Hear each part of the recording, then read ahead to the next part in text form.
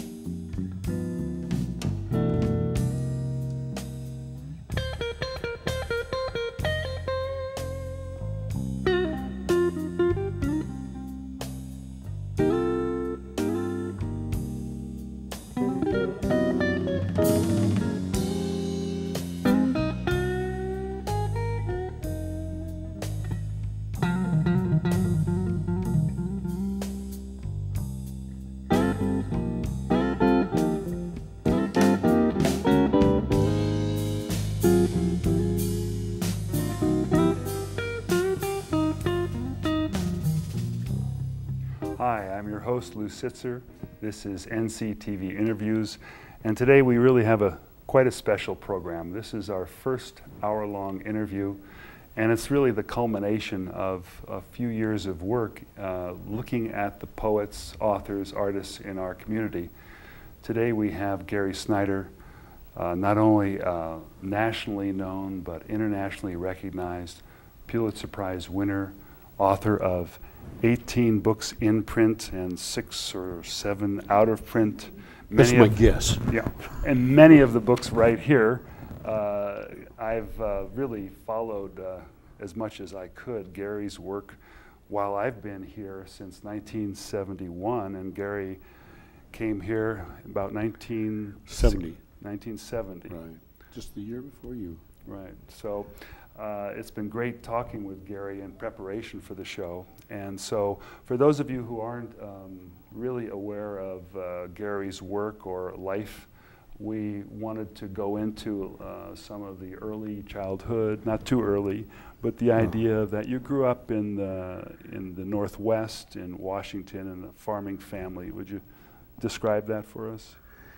During the Depression years, um, my father, who had been born in, in the Pacific Northwest, and my mother, who had moved up there when she was 12 from Texas, uh, managed to settle on a few acres of land outside the city, Seattle, uh, to the north, uh, and in uh, what we uh, up there, what we call stumpland. Uh, started a little dairy farm, chickens, a small orchard, vegetable garden, and that's what I grew up working on with a mile walk down to the local grade school near the town of uh, what is now known as Lake City. Uh, so that was a good Depression era, hardworking, uh, simple life uh, that my sister and I uh, actually grew to love.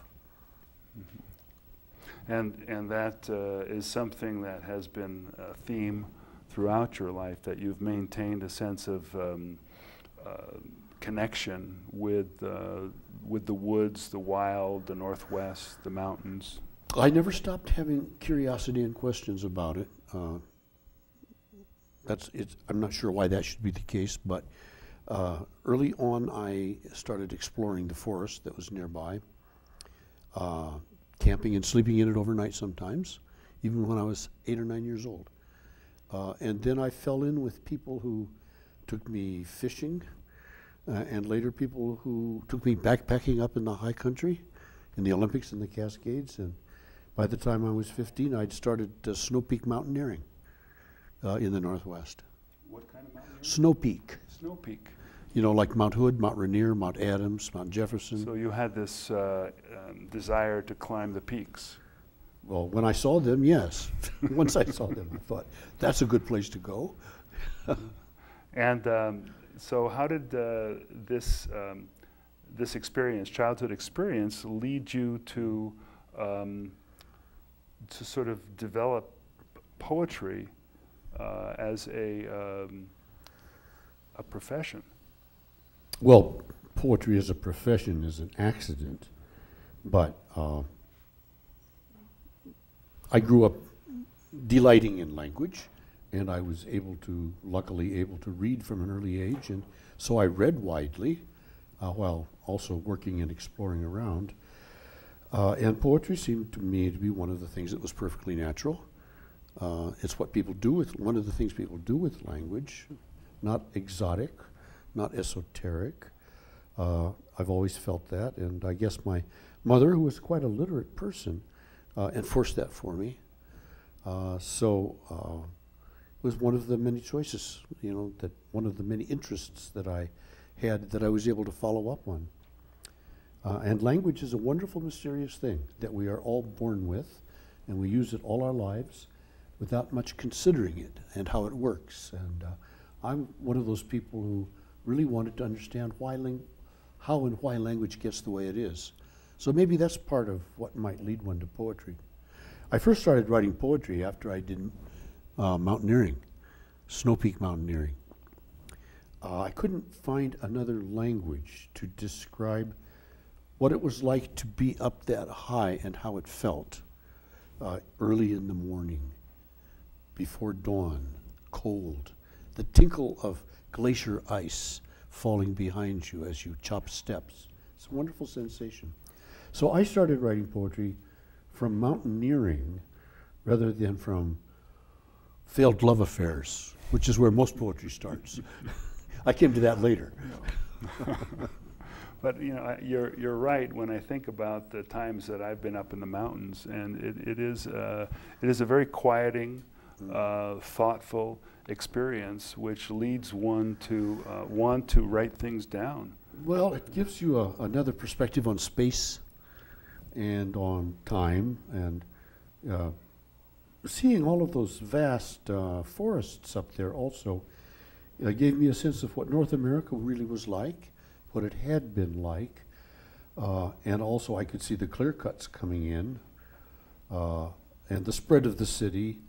And somehow I ended up sort of taking the side of nature uh, as I have done ever since. And uh, including the condition, the situation of the natural world in my moral compass, uh, wanting to be as much a spokesperson for the natural world as for the human world. And so, from a, a childhood uh, in in the Northwest, uh, you worked in the forestry, in the Forest Service. Oh, that came later. Came later. Yeah, I, I was working on the farm um, uh, when I was younger, milking cows, shoveling the stuff. Uh, I got good at it. And then, um, gosh, when I was in my mid teens, well, as soon as I was able to, 18, I went to work as a summertime Forest Service backcountry laborer, trail crew, uh, a- and sometimes firefighting. Gifford Pinchot National Forest, and then later uh, the Mount Baker National Forest. And then in between, I started going some seasons to uh, logging uh, on the east side of the mountains with the Warm Springs Lumber Company over in eastern Oregon. So uh, I was out there both with the Forest Service and with the timber industry. And then you decided to leave for Japan.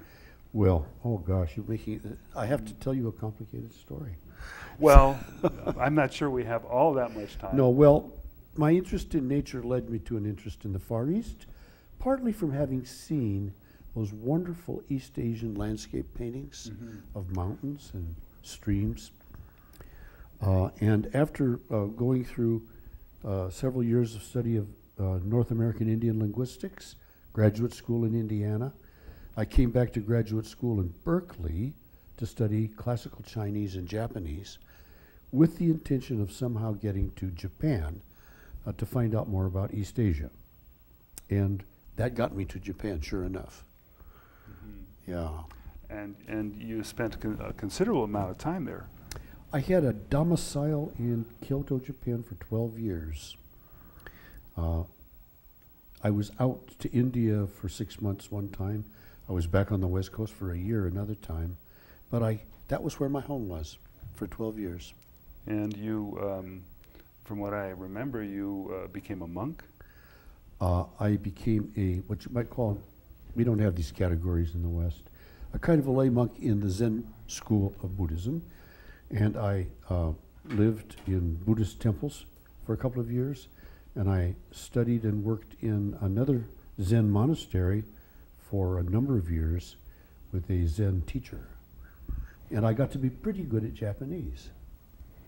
And that, that uh, experience has pretty much carried you throughout in terms of your interest and involvement with Buddhism since. Oh, well, I'm a Buddhist. What can I say? I've, actually, I became a, a Buddhist in my own mind before I ever went to Asia. You know what made me into a Buddhist first? Discovering uh, that the Buddhist ethics include non human beings as well as human beings. You know, thou shalt not kill only applies to human beings. Mm. Uh, the Buddhist uh, precept says, uh, don't hurt anything if you can help it. Doesn't matter how big or little. And I thought, that sounds better to me. It fit my sensibility. And so that is part of my, you know, evolving environmental conscience. Uh, but Buddhism has also uh, a, a- a powerful psychological and spiritual training uh, and uh, elegant philosophy uh, that is intellectually very demanding. Uh, so I fell for all of that.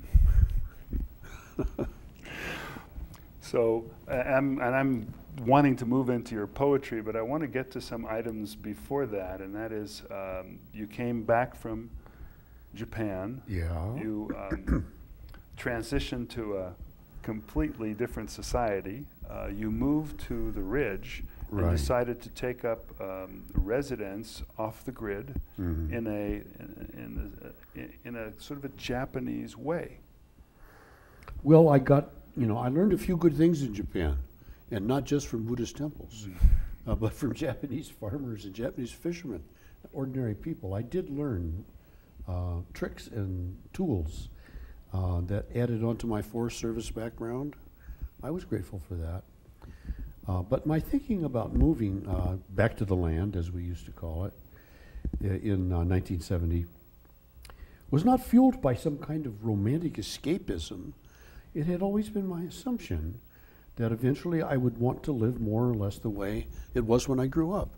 I was a country boy, and so I felt perfectly at home uh, settling in uh, where we were, off the grid as it happened. Uh, and many of the carpentry tools and uh, uh, small scale woodcutting and logging tools that I have came through my father, and some go back to my grandfather. Well, the, and, and we're looking now at, at your home uh, and your dog uh, and seeing that living off the grid doesn't necessarily mean living without. And actually, it's, uh, it has the advantage of being in touch with so many different things. Here are solar collectors, which enable you to have computer and um, other amenities that um, you've found to be useful. 20 years after uh, uh, burning kerosene lamps and Aladdin lamps, that was our light for 20 years. Mm-hmm. Then I decided to get solar panels. I'm very conservative, very slow to move on these things. But when I did, I decided it was a good thing. And so I'm very happy to have those now. And of course, that enables us to have uh, computers. And uh, we even have uh, a disk, a dish, you know, to download the internet. And it all runs on solar. Well, um, that really contrasts a lot with my own experience, which was living in a city uh, throughout my uh, early life and then discovering this part of the back to the land movement, which enabled me to leave Southern California and, and take up something, uh, somewhat uh, a similar life, not, not parallel, well, parallel, but not, not exactly. Uh, And so, um, having come up to this county and um, uh, in 1971, I just found that uh, that it was it was an important part to connect to nature, and it's a lot an experience that a lot of people in cities don't have. It's true. Um, eh, there is more nature in the city than people think, uh, and I have urban bioregionalist friends like Peter Berg, who leads uh, fish walks, bird walks, and insect walks in downtown San Francisco. Uh, and That's to great. point out how much is actually there. That's great. Uh, also, uh, San Francisco is right on uh, the Pacific Coast Flyway, and it's right where the hawks come over when they're migrating. So you can count hawks going by from a lot of high points around the San, right in the city of San Francisco. There are people who know that. You know, I really am happy about the uh, development of an interest, curiosity, and knowledge about the natural world that's taking place society-wide now, whether you're in the city or in the country. You do not have to be out in the country to do this. Well, that's good to know because it's a time where we do need to renew our uh, connections. It is. And of course, if you're going to live in the country, uh, out in the rural areas, out in the uh, semi-forested, semi-wilderness, uh, you have to take on your local issues. And our local issues are, uh, in part, proper forest management, long-term forest health, uh, forest ecology and ecological systems in general, and the threat of wildfire and the, and the history of wildfire. Uh, So, you know, I consider those sort of backyard or front door issues that I must deal with because they're in my world, as well as, you know, larger global issues. And we're going to be, you know, talking and hearing more of that. But uh, I was thinking about uh, the f- the first time I actually heard you read was uh, was really a, for me an altering experience, uh, and uh, um, I thought maybe you could read something uh, at this point. Um, I was thinking of "Song of the Taste." Because, uh, as I told Gary earlier, we were so taken with this one poem that we created um, uh, season greetings cards with this poem that we sent to friends at that time in 1971. I'll read it if I can find it. You have what page it's yeah, on? I do. Uh, it's it's right here if you want to take from my Oh, book. okay. This poem called Song of the Taste was written in Kyoto, Japan, uh, after I'd been there maybe three or four years living in Japan. And uh, on the side, beside, uh, as well as you know, language uh, and history books, I was reading some uh, English language books on ecology and biology, uh, scientific ecology, and getting deeper into it so that at one point it occurred to me that one could say that the study of ecology uh, was the study of energy transformations, meaning things eating each other. Uh, and it led me to a reflection on, well, what is it that we are eating? Uh, so then I wrote down this poem called Song of the Taste, which is still really one of my favorites. Song of the Taste. Eating the living germs of grasses, rice and wheat. Eating the ova of large birds. The fleshy sweetness packed around the sperm of swaying trees, apples. The muscles of the flanks and thighs of soft voiced cows. The bounce in the lamb's leap, the swish in the ox's tail. Eating roots grown swole inside the soil, drawing on life of living. Clustered points of light spun out of space, hidden in the grape. Eating each other's seed, eating, ah, each other. Kissing the lover in the mouth of bread, lip to lip. What I love about poetry, and this illustrates it, is is sort of going beyond the word and dealing with uh, combinations that would not be on our ordinary speech pattern, bringing up images that are that are innovative. Oh, yeah. Well, that's what poetry is hopefully is going to do. And as Basho, the great haiku poet, said, speaking of those little tiny poems, he said, the words stop, but the meaning keeps going on. Right. So uh, a lot of your life has been in the forest, and um, uh, a lot of your study has been how people have dealt with forests and the history of forests. So in moving to your place, um, in particular, what uh, what did you need to do to become um, to to become safe? Safe? Well, maybe that's the wrong word.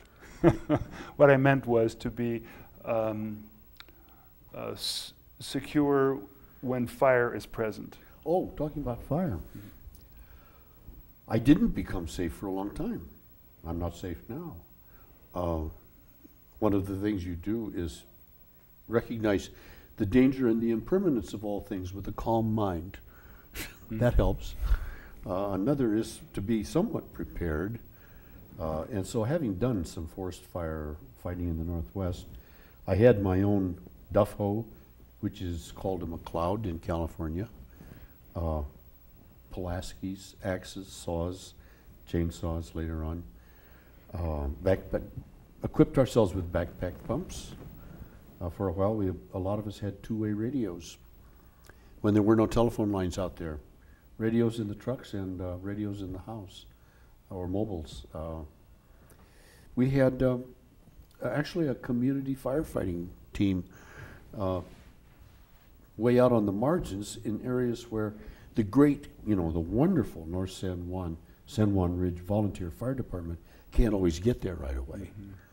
Uh, but the other thing you do, of course, is clear out the underbrush and limb, uh, limb up the trees, uh, get the fire ladder out, pile up your brush, and in those days we always burned the brush piles. So over 37, 38 years, uh, I've managed to push the brush and the fire ladders back quite a few hundred feet from the house itself. And yet, it looks good. It looks wild. I was just out this morning clearing. I've got piles of manzanita uh, that I've cut, trying Yeah. to keep things down because, uh, as you know, and we all know, living in this area, fire um, uh, creates, I mean, uh, a dangerous situation, particularly now, so Oh, that yeah. the forests have so overgrown. Oh, yeah. No, thanks, thanks to the great energy of the government in suppressing all fires, uh, which they are always going to do, suppress all fires uh, of whatever sort, you know. Um, also, you know, we've been burning firewood for 37 years for a lot of cooking and almost all of the heating. And that eats back at the, uh, the buildup on the forest floor. Uh, it's wonderful living this way. Uh, and I've never had any hesitation about uh, going about it, but I realize that people who have come here recently, newcomers, uh, who are taking delight in their little wild plot of land, are uh, very sensitive about cutting or trimming anything back. I can respect that. Uh, so it helps to know that that thickness and density of uh, vegetation uh, doesn't necessarily represent a, nat- a natural state. It represents uh, uh, a state that has come about uh, from the absence of fire uh, over the last hundred years. Because as the Sierra Nevada is described, it is a uh, fire adapted ecology within which low level fires should be going through every 25 or 30 years. And if the, that was the pattern before um, uh, white people came out here and started changing the direction of the woods. Uh, You have a poem that addresses that. uh, Is that the control burn? control poem? burn, Shall I read that? please? Oh, yeah. I know where that is. Okay. 219.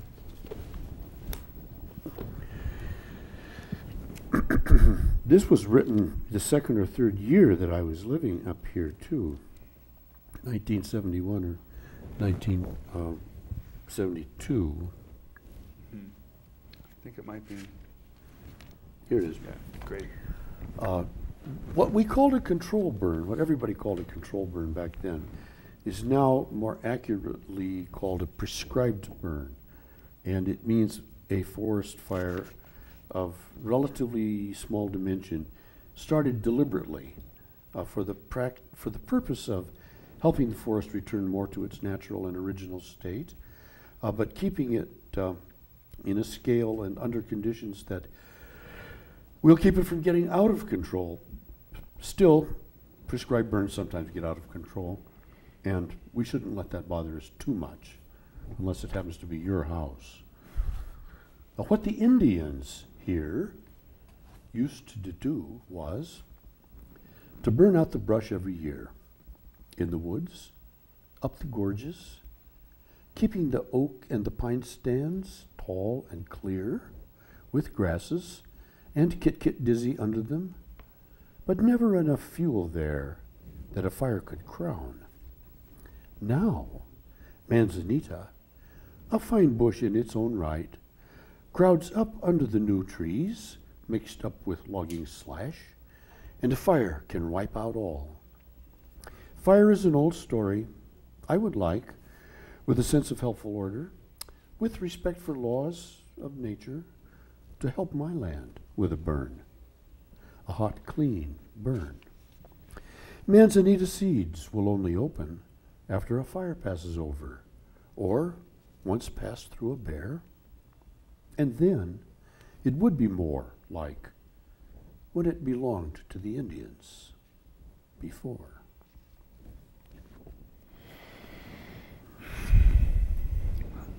So I have neighbors who are doing prescribed burns every year or so. With the cooperation of the BLM, the Forest Service, Volunteer Fire Department. Well, I know that the uh, Forestry Service is very concerned as we move into summer and uh, not having had a lot of rainfall, trees being stressed, um, that there will be uh, great fire danger. And so moving toward um, uh, some, uh, a safer, defensible space is what Mhm. it's referred to, Right. is, is, it should be a concern of all of us. Uh, and somehow, um, you know, I think the, the forests will, um, will benefit as well, as you say. I mean, as I'm cutting manzanita, I realize that this is a good thing. Yeah. And it doesn't have to be the whole forest. Right. No. Although, if we were looking way ahead, uh, it would be ideal to eventually bring at least some of the Sierra Nevada forests back to that pre-contact state of uh, relative openness, quite a few large, big fireproof trees, and, and then some smaller trees, all age mixed together, but uh, with periodic low-level fires, uh, keeping undergrowth buildup from presenting a big hazard. You know, given enough time and and persistence, maybe that could be brought about. Or on the other hand, one of these days, we may just get a huge forest fire that goes up and down the Sierra Nevada. Right. Yeah. Yeah.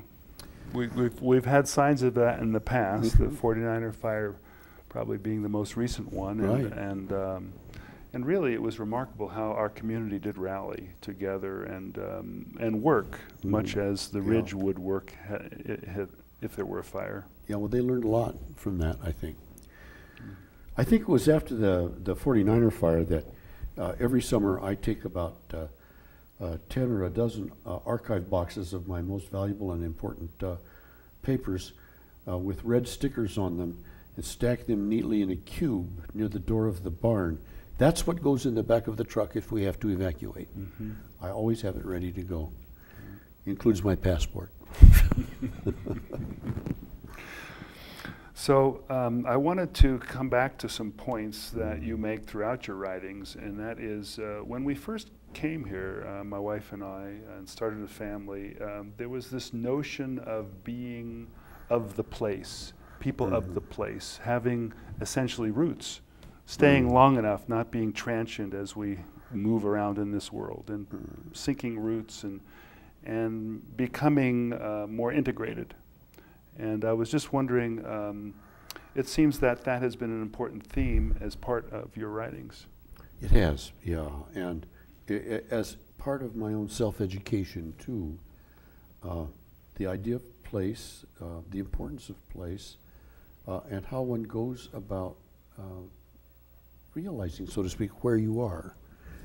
Uh, it is possible to have been physically resident somewhere for decades and still know nothing about it. Uh, and that may be part of the problem with uh, American settlement in uh, much of this continent. People were moving in too fast to take time to learn about it. Uh, what I think of when I think of learning the, uh, about the place is um, annual rainfall, which establishes uh, a lot for the vegetation.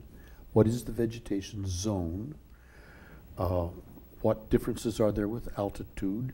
These are things that anybody growing flowers or vegetables would also want to learn. Uh, what is the lay of the land? Where are the major creeks and rivers? What are they doing? And what was, here's a really interesting question. What was the original vegetation here before uh, the contemporary world went to work on it?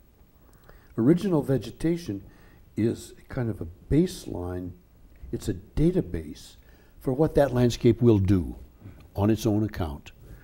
Uh, we have a tremendous amount of, of original vegetation right here now that we can look at. There's also a lot of introduced trees around. If you keep your eyes out for them, you'll see them, like the locust trees. Um, and of course, much more introduced plant life down in the valley. Uh, and then understanding California, first step is to know that it is what is called a summer dry, winter wet climate. And that it has a six month drought, and then it has a six month rainy spell. Many places in the world, most places in the world, do not have a climate like that.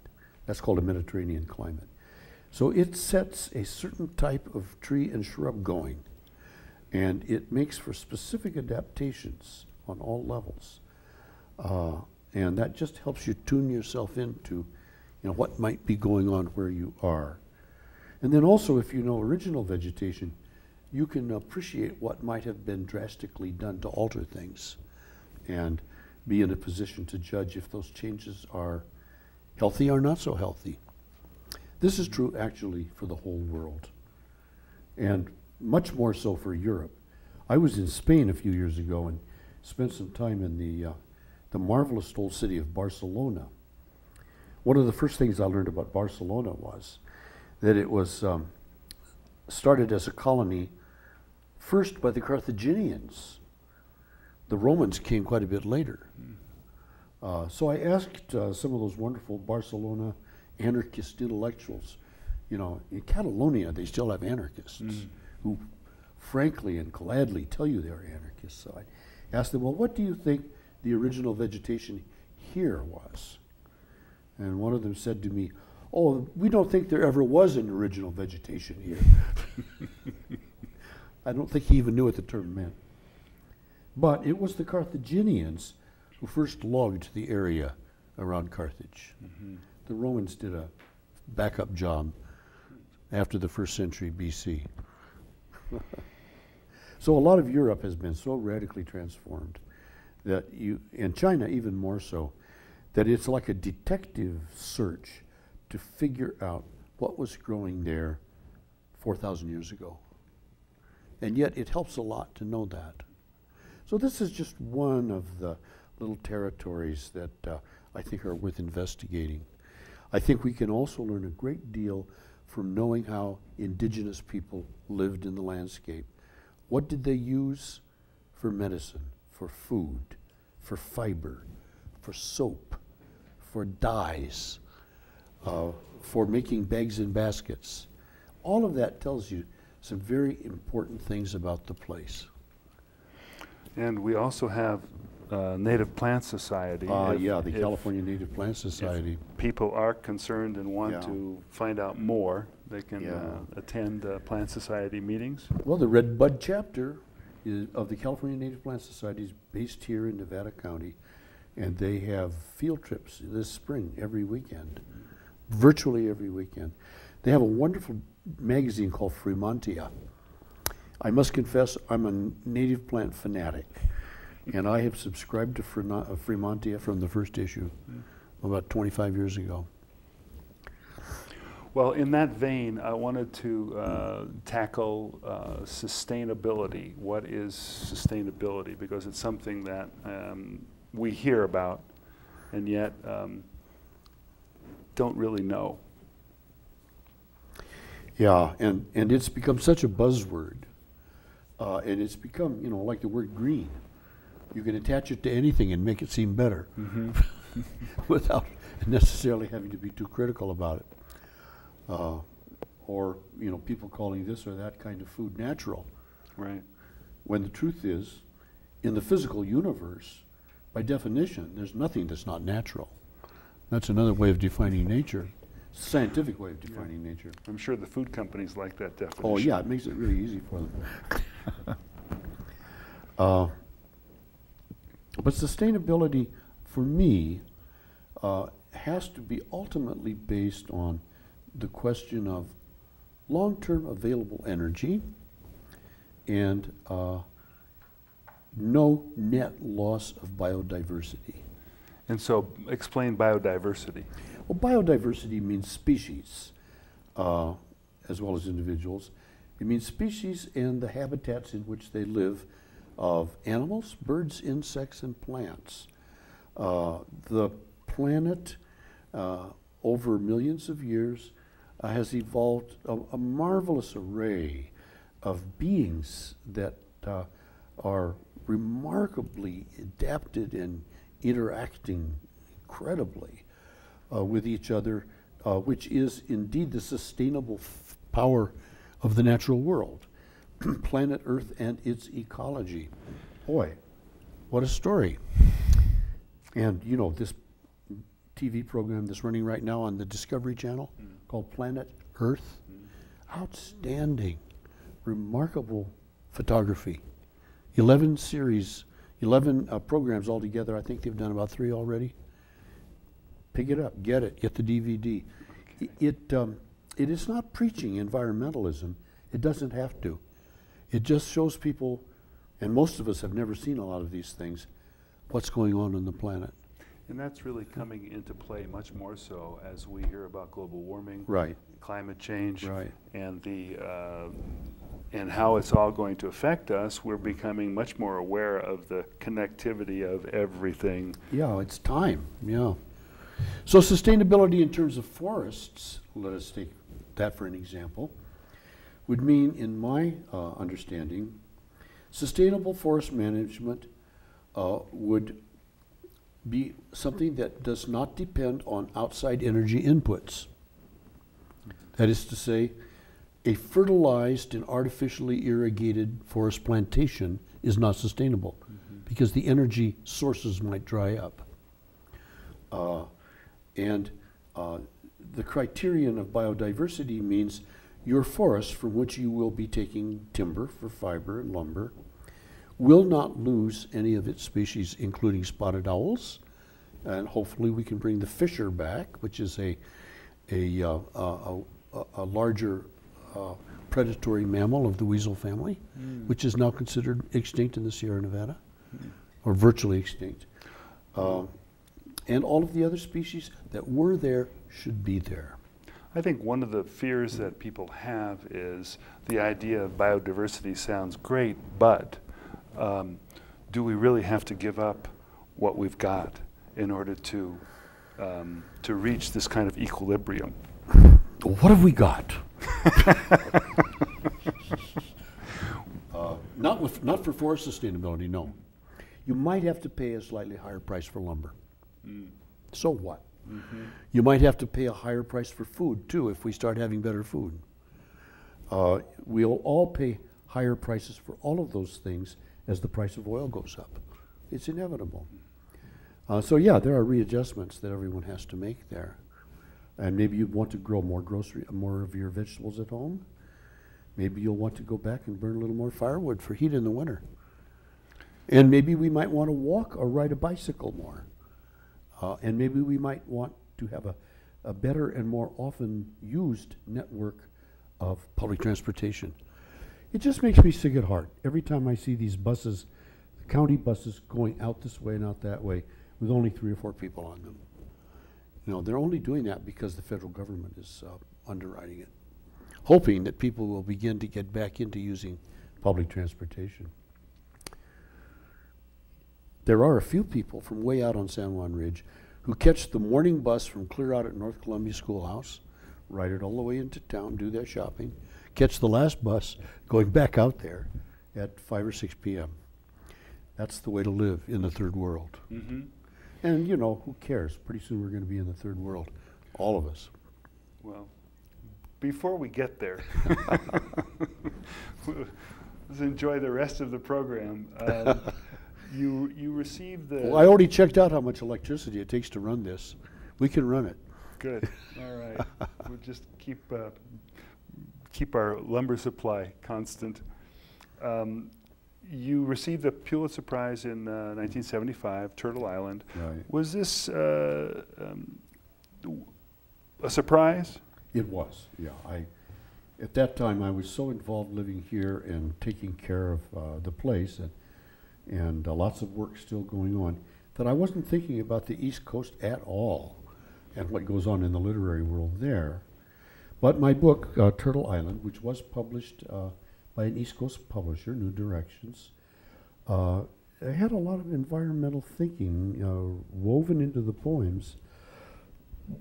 And the word, the term Turtle Island, uh, is a Native American word for the continent of North America. Uh, and it's still being used in a lot of places. Uh, and I liked it because it puts North America in another context. If you say the United States, you're talking about something that is a little over 200 years old. If you say America, you're talking about something that is 500 years old. If you say Turtle Island, you're talking hundreds of millions of years. And that helps us get a sense of where we are.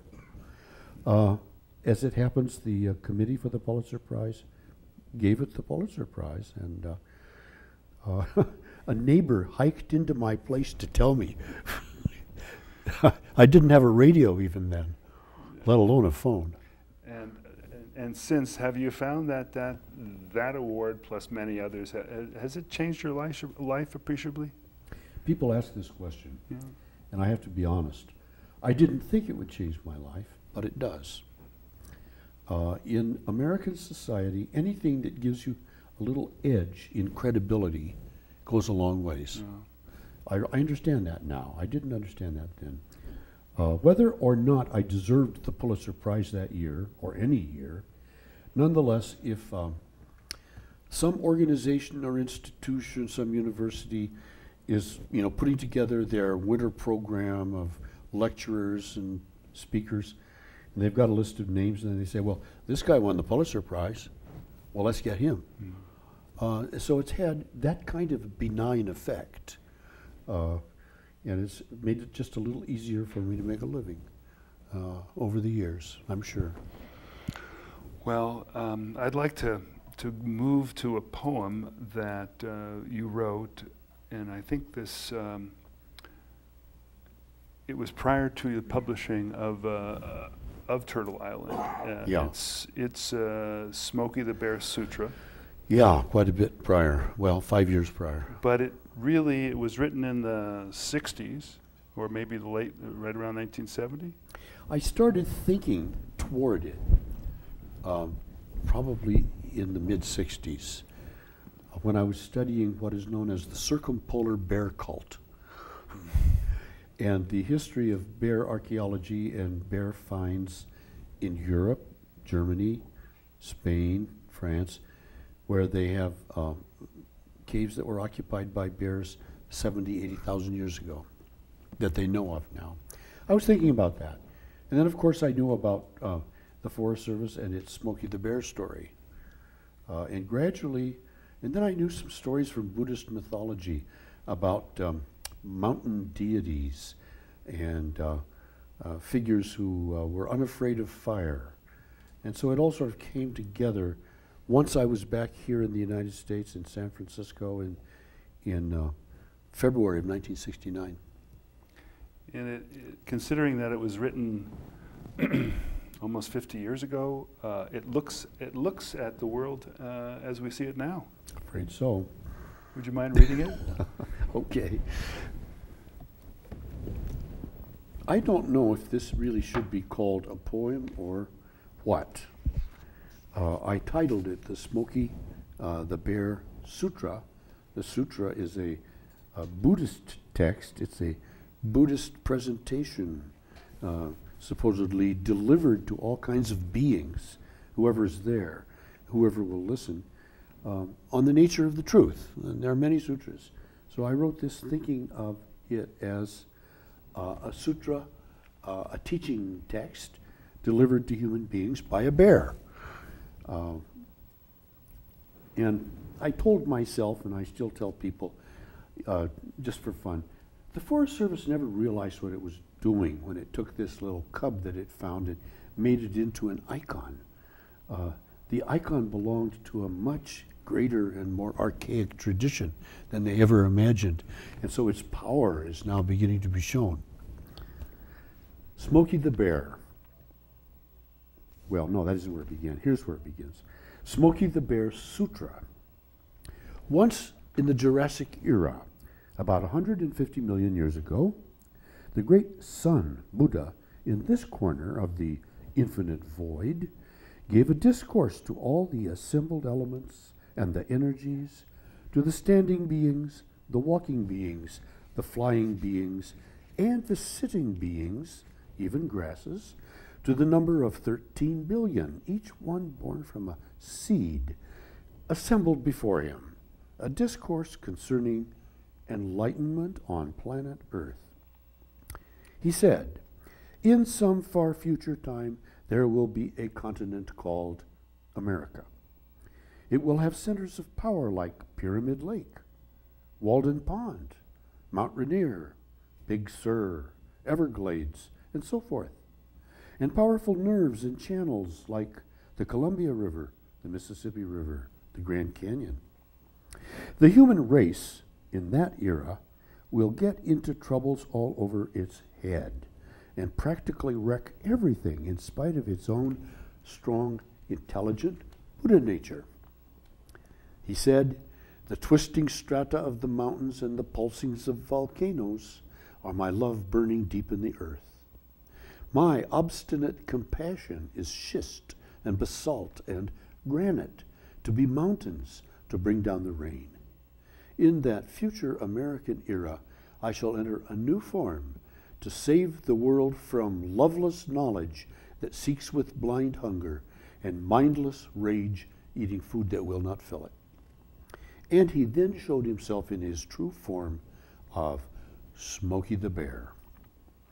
A handsome, smoky colored brown bear standing on his hind legs, which shows that he is aroused and watchful. Bearing in his right paw the shovel that digs to the truth beneath appearances, cuts the ruts of useless attachments, and flings damp sand on the fires of greed and war. And his left paw in the mudra of comradely display, indicating that all creatures have the full right to live to their limits, and that deer, rabbits, chipmunks, snakes, dandelions, and lizards all grow in the realm of the Dharma. Wearing the blue work overalls, symbolic of slaves and laborers, the countless people oppressed by a civilization that claims to save but often destroys. Wearing the broad brimmed hat of the West, symbolic of the forces that guard the wilderness, which is the natural state of things and the true path of people on earth, and all true paths do lead through mountains. With a halo of smoke and flame behind him, forest fires of the Kali Yuga, end of the universe, fires caused by the stupidity of those who think things can be gained and lost where in truth all is contained, vast and free, in the blue sky and green earth of one great mind. Round bellied to show his kind nature, and that the great earth has food enough for everyone who loves her and trusts her. Trampling underfoot wasteful freeways and needless suburbs, smashing the worms of capitalism and totalitarianism, indicating task. His followers becoming free of cars, canned food, universities, and shoes, master the three mysteries of their own body, speech, and mind, and then fearlessly chop down the rotten trees and prune out the sick limbs of this country, America, and then burn the leftover trash. Wrathful but calm, austere but comic, Smokey the Bear will illuminate those who would help him, but for those who would hinder or slander him, he will put them out. Thus, his great mantra. Nama Samanda Vajranam Chanda Maharoshana Spataya Hung Traka Hung Mang. I dedicate myself to the universal diamond. May this raging fury be destroyed. And he will protect those who love woods and rivers, gods and animals, hobos and madmen, prisoners and sick people, musicians, playful women, hopeful children. And if anyone is threatened by advertising, air pollution, or the police, they should chant Smokey the Bear's war spell. Drown their butts, crush their butts, drown their butts, crush their butts. And Smokey the Bear will surely appear to put the enemy out with his Vajra shovel. Now, those who practice this sutra and then try to put it in practice will accumulate merit as countless as the sands of Arizona and Nevada. We'll help save planet Earth from total oil slick. We'll enter the age of harmony of man and nature. We'll win the tender love and caresses of men, women, and beasts. We'll always have ripe blackberries to eat and a sunny spot under a pine tree to sit at, and in the end will win highest, perfect enlightenment. What a story. You know, it, it, uh, it sounds a little biblical in the sense that um, the well, it's it's a wonderful poem. It's one of, one of my absolute favorites. But in, uh, in, in the sense of the meek shall inherit the earth. Well, it just happens to be Buddhist. There must be some spiritual truths out there shared east and west. I would hope so. yes, indeed. yeah, yeah. Um, it uh, it brings me back. You know, it's like, well, where is Smokey now when we need him? Um, but uh, a lot of it is is our responsibility. Well, Smokey is out there standing around in the smoke of the big fires, like that um, that image that maybe came up on your screen, with his hands in gasshos of gratitude, surrounded by flames, uh, appreciating the destruction and the suffering that a big fire might carry, but also knowing that it must happen sometimes. Uh, that's part of the nature of the universe. There it is. Yeah. Smokey the Bear Bodhisattva, a painting from a woman in uh, the Bay Area uh, who was touched by this sutra. Yeah. Uh, and some of the people that work on the fire lines in the Forest Service, the younger people, they get in touch with me. They say, We love that. So it's out there. Towards the end of your latest book, Back on the Fire, you um, you uh, you mention about uh, the world's problems today. You, know, uh, you, you mention um, rising population and dwindling resources, uh, and, and, of course we hear it and see it. Um, and you leave us with some um, possible possible remedies. I don't know if you remember uh, that part. Uh, more women in politics. More women in politics. That's the one people ask me about most. Right. Well, why did you say that? Mm. Uh, come on. I say, think about it. yeah. Well, maybe, um, but wouldn't wouldn't hurt to elaborate a little bit on that. Uh, without any uh, uh, unnecessary and untrendy essentialism, uh, I do think that women bring a different perspective uh, to economies and, and to politics uh, that they uh, uh, have a slightly different approach uh, to the possibilities of sustainability. I think they're less hysterical and less excitable uh, and uh, Less reactive. less reactive. Uh, and also, they can be very tough. Uh, and, and that they're able to speak back to uh, some men who need to be spoken back to. Uh, and it is, in any case, a matter of some justice. Uh, I would also like to see other creatures given a vote, but that's a, a ways off yet. Right. Yeah, I think it was uh, to sort of, as you were saying earlier, to uh, to preserve biodiversity as much as possible. And I think uh, I think we just take that as a moral imperative. We can't always be perfect with it, but it's just one of the things we agree to do uh, the best we can with. Yeah. Not sacrifice things. Not write them off as a sacrifice. And you're, you you talk uh, about biodiversity in terms of what is non-human as well as what is human, but you really want to bring in the natural world. Uh, uh, and you, but one of the things I see with biodiversity is that um, we need to preserve cultures and languages. Yeah, absolutely. That's that's another. That's that's not biodiversity. That's cultural. Uh, but we have endangered languages. We have endangered small ethnic groups with unique skills and knowledge and stories.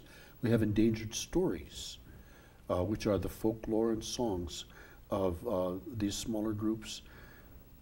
Arctic people, for example, Inuit, Inupiaq, Yupik, Eskimo people, they have told me, I've been to Alaska a number of times, that since they got lifetime satellite television up there, they've quit telling stories. That they're losing their stories simply because they all go home and watch television in their little, their little, not igloos, but nice little wooden houses.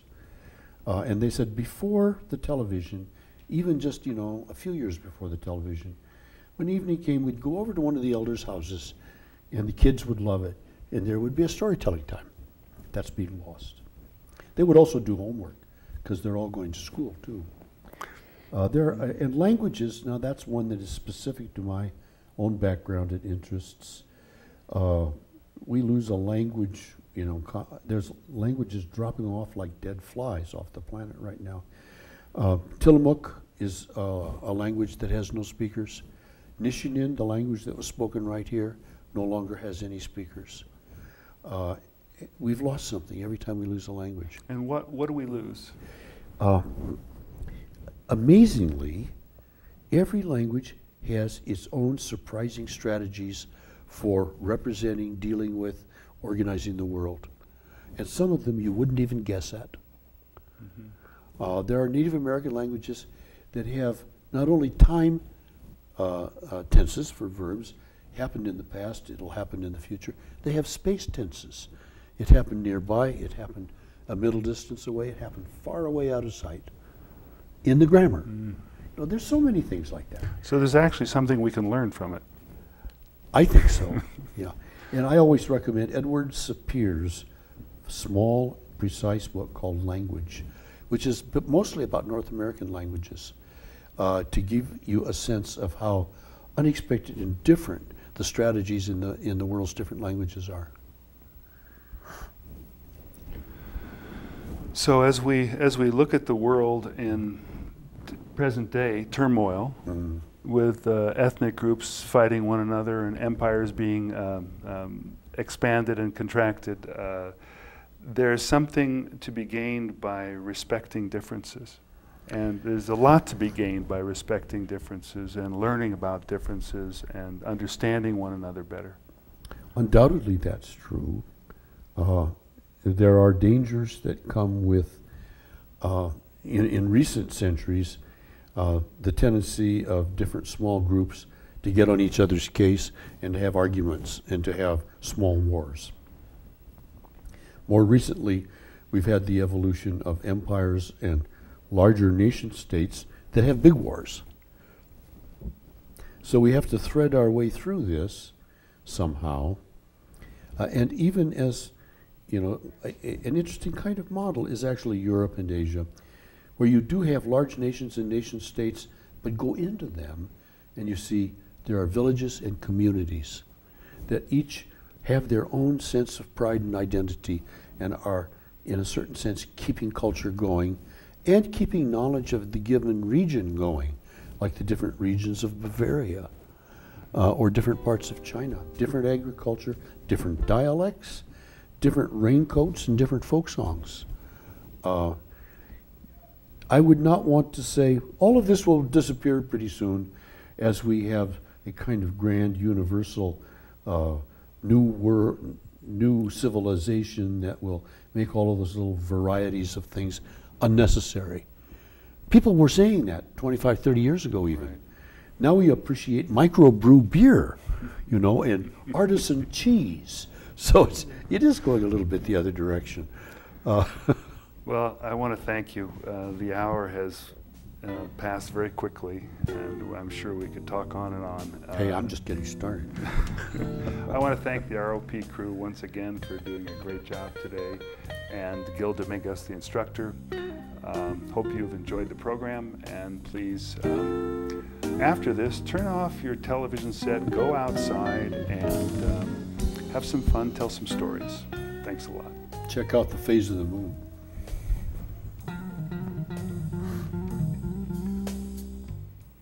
You that Irrigation District. Are we supposed to be quiet right now? Since 1921, providing clean and healthy drinking and irrigation water to more than 24,000 homes, farms, schools, and businesses in Nevada and Placer County.